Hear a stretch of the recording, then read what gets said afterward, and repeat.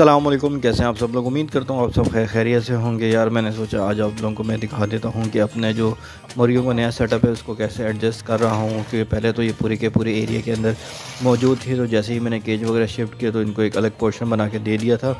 तो माशाल्लाह, ये देख सकते हैं, यार, ये ब्लैक वाली माशाल्लाह मेरी बड़ी फेवरेट है और काफ़ी ज़्यादा पुरानी है और काफ़ी ज़्यादा एजिड हो चुकी है ये।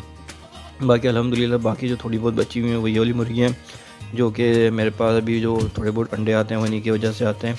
बाकी यार ये एक बहुत ज़्यादा डरपोक मुर्गी है मेरे पास, जो बहुत ज़्यादा डरती है जैसे मुर्गा सामने आता है, भाग जाती है। बाकी चेक कर लेते हैं पहले वीडियो शुरू करने से पहले कि यार अंडे वगैरह तो नहीं दिए हुए है, ज़्यादा तोड़ वगैरह देते हैं। ये माशाल्लाह दो अंडे दिए हैं, ये निकाल लेते हैं। सर्दियों का मौसम है और ये ज़्यादा ही फ़ायदा देती हैं। अगर आपके पास स्पेस है तो मैं ये कहूँगा कि आप लाजमी मुर्गियाँ वगैरह लाजमी रखा करें अपने पास। तो माशाल्लाह ये देख सकते हैं साइज़ काफ़ी ज़्यादा अच्छा है। तो ज़्यादा तो मुझे अभी ज़रूरत नहीं होती है अंडे की, लेकिन फिर भी जैसे कि एक्सपोर्ट वगैरह में मैं ये वाले अंडे भी ज़्यादातर यूज़ कर रहता हूँ, या बटेर के अंडे जो होते हैं वो भी यूज़ कर लेता हूँ, वो भी मैं आपको दिखा दूँगा कि उनको कैसे कर रहा हूँ। अच्छा साथ ही साथ ये होता था चलो यार मैं इनको इस जो है कि ट्रे के अंदर देता था, खाना वगैरह तो सोचा आज कोई नई चीज़ की जाए। तो जो इनका पहले मैंने रखा हुआ था अपने पास दाना डालने के लिए वो लगाऊँगा इसके अंदर और साथ ही साथ इस एरिया की थोड़ी क्लीनिंग कर दूँगा, क्योंकि स्टार्टिंग में बिल्कुल भी टाइम नहीं था मेरे पास इनको क्लीनिंग करने के लिए। काफ़ी ज़्यादा गंदगी पड़ी हुई है, थोड़ा सा ये क्लीन वगैरह करेंगे, ताकि इनको भी एडजस्ट करना शुरू करूँगा। इसमें भी कुछ चेंजिंग करनी है, वो भी आप लोगों से शेयर करूँगा। तो फ़िलहाल टेम्प्रेरी तौर पर इनको यहाँ पर रखा हुआ था। एक पोर्शन में मैंने मट्टी रख दी थी, दूसरे पोर्शन को मैंने बिल्कुल ड्राई रखा हुआ था, क्योंकि दाना वगैरह, पानी वगैरह लगता है तो मिट्टी में ज़्यादा ख़राब हो जाती हैं चीज़ें।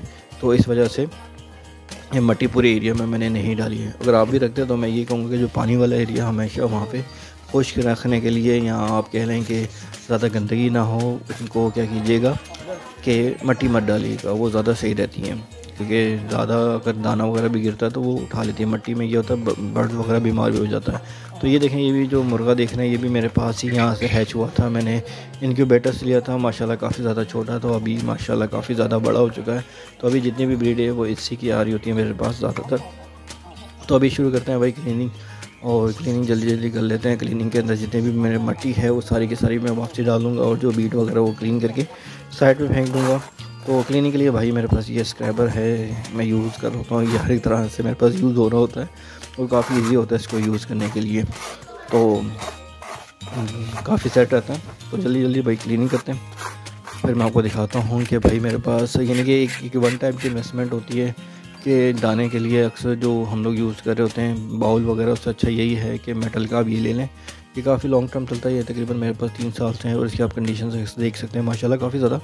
सेट है तो आज इसमें दाना डाल के इनको देंगे और ये भी बड़े शौक से खाती हैं। वैसे तो प्रॉपर इसको लगा दूँगा ताकि दाना वगैरह ना गिरे, लेकिन अभी टेम्प्रेरी तौर पर करूँगा? इसको ट्रे के अंदर रखूँगा और जो दाना वगैरह गिरेगा, वो ट्रे में गिरेगा। अच्छा एक फ़िक्स क्वांटिटी देनी चाहिए बर्ड्स वगैरह को भी ताकि उनकी हेल्थ अच्छी रहे। इतना ज़्यादा दाना भी नहीं देना चाहिए कि वो बीमार हो जाए।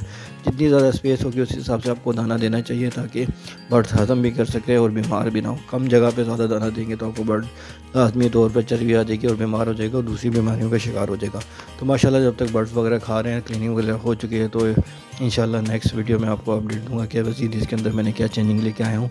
तब तक के लिए अल्लाह हाफिज़।